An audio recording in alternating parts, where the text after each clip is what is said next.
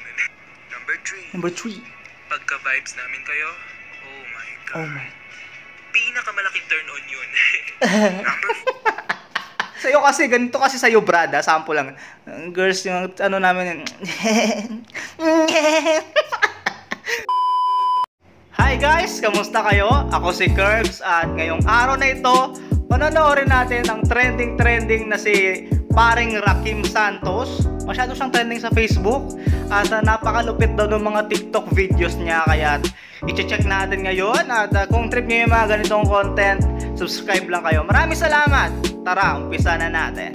So TikTok, TikTok pala to. Hi guys, story time muna tayo. So dumating na ba kayo sa ganitong sitwasyon? Okay? Yung in-game ka, tapos nasa kalagitnaan ka ng gera. Okay? I don't know kung ano nilalaro nyo, basta ako nilalaro ko PUBG at COD. So, Okay. Ah. Sure ka? Sure ka naglalaro? sure ka ba naglalaro ka ng PUBG, pre? Kasi lahat ng naglalaro ng PUBG, parang PUBG yung tao. Pero okay, okay. Ulitin natin. yung in-game ka, tapos nasa kalagitnaan ka ng gera. I don't know kung ano nilalaro nyo, basta ako nilalaro ko PUBG at COD. Mm, PUBG. So ano nga ba yung problema dito? Ang problema dito, pag naka-in-game tayo, tinatawag tayo ng mga nanay natin. Mm. Para ano? Para Kasi ano? may Para ano? Nanay! Ano? Nakikita mong in-game ako? Hmm? Ikaw bang nagpapakain sa akin? Ha, Nay? Ha? Wala kang karapatan. Naglalaro ako ng PUBG. okay. Ang problema dito, pag naka-in-game tayo, tinatawag tayo ng mga nanay natin. Mm. Para ano? Para ano? Kasi may utos daw. Ang nakakahiya pa, pag naka-on mic, on mic, naririnig ng mga kalaro mo yung mga sinasabi ng nanay mo sa'yo. Sa'yo? Ay, tapos alam mo yung feeling na nagmumukha ka ng pabigat sa group kasi yung nanay mo utos ng utos. Hmm. Nagmumukha na akong pabigat, ma. Nay!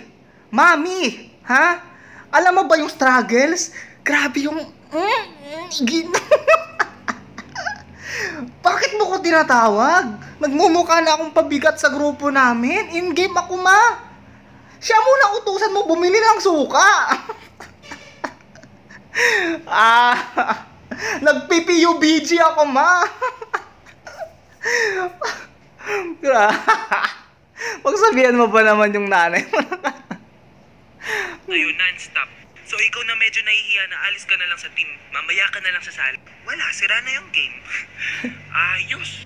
Okay, Ayos. Wala, sira na yung game. Ayos. Ano bang mahirap doon? Eh di mag ano ka, huwag ka muna sumali ng isang game, pre. Di ba? Alis ka muna, kaysa naman mamatay ka lang doon sa game, hindi ka na mare-revive doon. Pwera na lang kung Call of Duty pa yung laruin mo. Pwede pa kung COD yung laruin mo. Pero kung sa PUBG ka, lumayas ka na muna doon, okay? Tsaka maintindihan naman ng mga tropa mo kasi lahat naman tayo may nanay. Hmm? Mas okay na yung pabigat ka sa game kaysa mabigat, pabigat ka sa nanay mo, tol. Ano ba? Okay. May concern daw kami na turn on. Okay, girls, listen. Okay. I don't know, pero alam ko karamihan sa amin na turn on kami pag Okay, sabi niya, alam niyo ba girls kung saan kami na-turn on mga lalaki? Hindi ko alam, pero alam ko. ano ba talaga? Alam mo ba kung hindi? You don't know, you do not. You know, you do not ba o you do not? okay. ponytail. No, pero alam ko karamihan sa amin na turn on kami pag naka-ponytail yung girls. Like for us, it's too cute kahit haggard kayo, promise. Number two. Ito Pogi niya, no? Okay. lagi niyong sinusuot yung Pero fact lang din, no? Hindi lahat ng lalaki ganun. Pero ma ewan ko kung karamihan ba. Pero ako trip-trip na trip ko din pa ganun kasi malinis tignan o parang cute kahit kahit haggard o hindi ga, gaanong kagandahan. Maganda siya tignan, nakaka-uplift talaga ng beauty 'yan. Okay, ayos. mga hoodies namin. Ah, my heart. Ah. Ah. okay na tol, pogi na, wag Ano ba? ano ba yung mga ano mo pre? Number two. Ito talaga eh. Number two.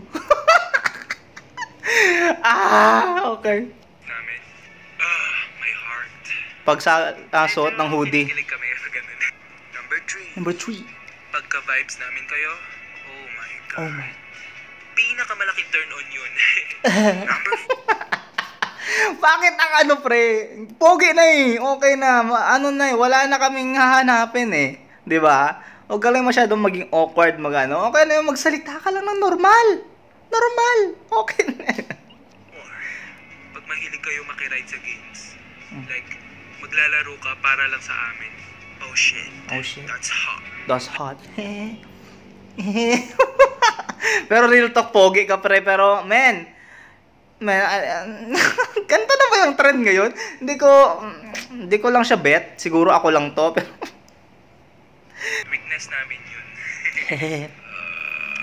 ano bang mali? Ano bang mahirap sa mag-smile? Weakness namin yon. Kasi, girls, alam nyo ba na kami mga lalaki kasi dapat suyuan nyo kami. Kasi, yun talaga yung trip namin. eh. Ganon lang. Simple ano lang. Sa'yo kasi, ganito kasi sa'yo, Brad, ha? Sample lang.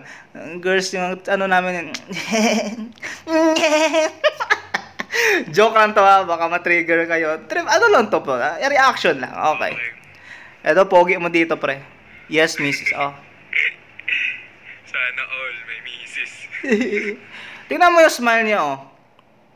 Parang hindi siya yung normal, yung natural smile. Para siyang, para siyang pinilit na parang, parang pinortray o parang ginawa, nilagay niya lang, eh, parang dinikit lang nila. hindi siya genuine, pre. Kaya, ano, practicein mo. Pwede naman yan eh, kahit hindi genuine, practicein mo o mag-isip ka ng bagay na makapag-smile sa'yo. Isipin mo yung nadapa yung classmate mo, yung, masa, yung ma- matatawa ka. okay. Ah. Yes, misis ko? No! Guys, ano experience nyo nung first time nyo mag-milk tea? Okay, ito ha, story time. When I was grade 6, na-curious ako When I was grade anong pakiramdam 6, tama ba yun? milk tea mag-isa ha, mag-isa. So, tinry ko, ako mag-isa ha. So, sinabi ko kay ate, ate, isa pong winter melon. Tinanong niya ako, small, Milk tea. medium, large. Tapos nabulol pa ako, sabi ko, "Mi- medium. Tapos nagtanong na naman, anong toppings gusto mo? Ako na walang alam, sabi niya, ah, okay po. Tapos next question na naman. Dito ako nahirapan eh. Anong sugar level mo? Sabi ko, um, opo. Huh? And si Ate B like, tapos na-realize ko na ganun pala ako ka-stupid dati. Stupid na agad. Hindi mo lang alam, hindi ka lang aware, o hindi mo lang natry agad yun. Hindi ka stupido nun. Ang stupido, yung hindi nagtatanong, kagaya, kagaya nung ginawa mo. Nagpa-as if ka lang doon na umu-order ka. Ah, yung watermelon. Ah, ah, yung ano, yung, yung medium. Ah, okay. Eh kung nagtanong ka, eh di mas madali. Hindi naman kahihiyan yun eh. Yung kahihiyan, yung hindi ka natuto. Yung nagpatuloy ka lang na nagpapanggap na matalino. Yun ang mali, Brad. Ah, ate, yung wintermelon, anong klaseng wintermelon? Ano bang meron kayo, te? O yun, yung blue, yung yellow, yung green, yung green, te, para parang astig. O anong sugar level? Ano pala yung sugar level, te? O ganun lang, hindi yung mid, mid, At um, gusto ko lang po sana magpaliwanag doon po sa video. Bago ko po in-upload yung video, nag-ask muna po ako ng permission sa parents ko kung Ah, ito na yung apology niya doon sa pinost niya na ano, na ma, in-game ako, ha?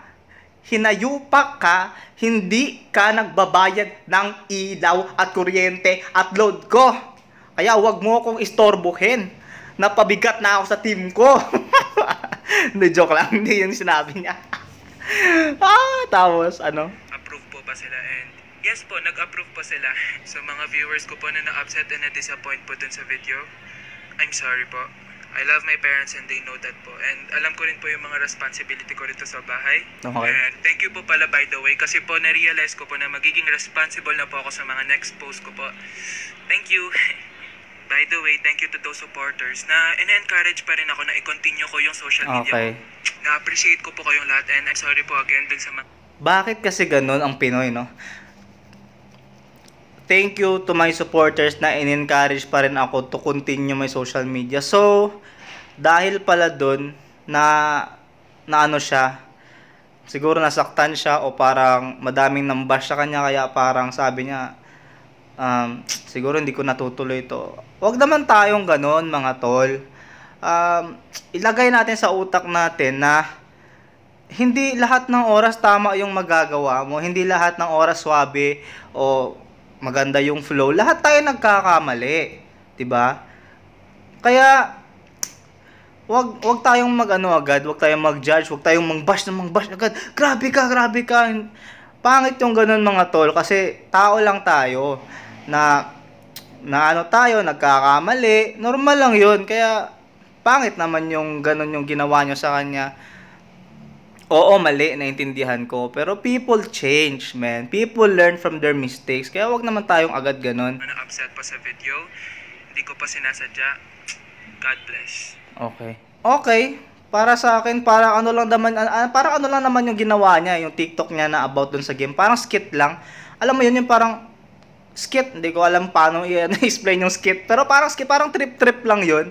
Pero guess ko naman na madaming bata yung nanonood. At syempre, baka ma-adapt nila to. At mali, mali din yun. May mali din talaga doon. Kaya, nag-sorry na siya. Wag na tayong masyadong, ano, wag na tayong masyadong mag-attach doon. Mag-move on na tayo mga guys.